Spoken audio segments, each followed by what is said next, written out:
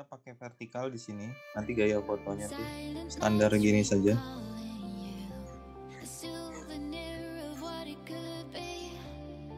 nah sama kamu dibuat ada garis landai ini sekira 7 derajat ya atau 10 derajat.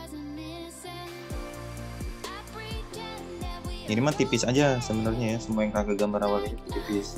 Ini acuan ya. Kan kalau gambar suasana ada perspektif. Nah kalau gambar komposisi ada ini nah ini kan gini kak ini kok gini boleh aja tuh masuk Ya itu kembali lagi seperti perspektif yang kami kasih tahu selama berada di koridor ini, kalau isometri selama berada di koridor ini dan ini aman, tapi dalam garis yang lan landai itu.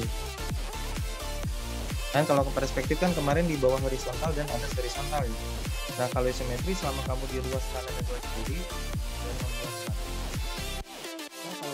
membuatnya lebih kecil ya berarti kamu ini kan berhenti di sini. Sama kamu diatur sendiri. Nah.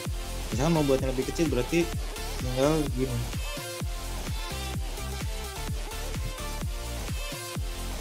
Gitu kan? Nah. Eh sorry agak disusutin. Nah gini. Gue bisa. Mau lebih kecil lagi bisa. Nah cuman kalau lebih kecil lagi ini tuh apa kang ini terlalu kecil makanya Hubungan apa yang belakang? Iya, ini kurang gede.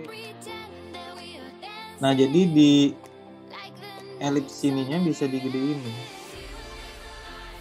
Elips sininya. Nah, sama bawahnya tuh kurang lebih mesti agak ke sini. Udah bener ya strukturnya, komposisi udah benar. Nah, ini latihan makanya.